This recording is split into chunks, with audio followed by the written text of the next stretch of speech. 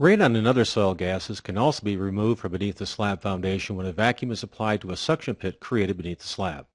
This technique is known as sub-slab depressurization. The suction pit is typically installed at a location on the slab that is near an outside wall to take advantage of soil settling that typically occurs near footings. It is also a location that typically does not interfere with interior space. In fact, a location in the center of the slab is often the least effective location. For most homes, only one suction point is necessary.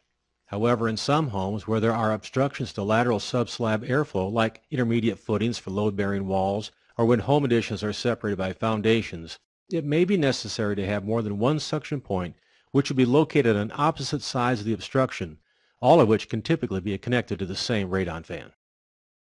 Multiple suction points may also be needed if there are more than one slab level. Again, if routing allows, these can be tied together and connected to a single fan. The creation of the suction pit is very straightforward with the to pipe connection often being accomplished with a 6x4 inch PVC reducing bushing that fits into a 6 inch slab hole and reduces down to 4 inch to accommodate the vent system. To install the fitting, draw an outline on the floor at a point to avoid contacting a spread footing under the slab. Drill the slab along the outline using a hammer drill.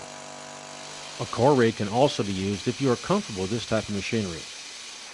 After your holes are drilled, chisel out the plug and clean up the edges so your reducing bushing will fit into the hole. It is very important that you dig out a pit beneath your hole, removing at least 10 gallons of soil. Also, the tighter the soil is, the more dirt you should dig out. Install the bushing by applying caulk to it and twist it into the hole. Apply additional caulk between the edge of the fitting and the floor to assure a good seal.